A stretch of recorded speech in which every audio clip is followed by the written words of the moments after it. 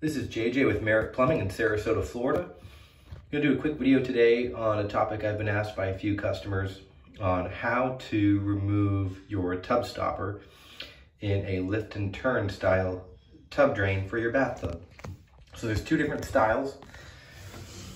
On one of them, you can turn your lift and turn till it goes down and just put downward pressure and turn left counterclockwise and the entire assembly will spin out. That's one of them. This one is the second design, which this top screw, and the way to find out is usually if this top hat on here is knurled and has these rough edges, usually in that case, this will unscrew. Now this home is only a year old, so this unscrews nice and easy for me.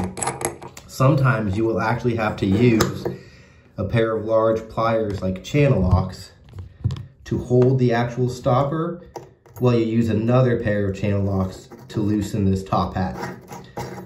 But with this being new, I'm lucky that I can just unscrew it. So that unscrews. And then this one is nice because it has a slot for a standard flathead screwdriver that I can use, or sometimes they're loose enough you can do it by hand. Some of them will have a square in there that you could stick a quarter inch drive ratchet, but usually if you just even grab that with a pair of small channel locks, it will unscrew. So you can unscrew that, pull out your stopper, and then if there's any hair in there, you can remove it from the crossbars.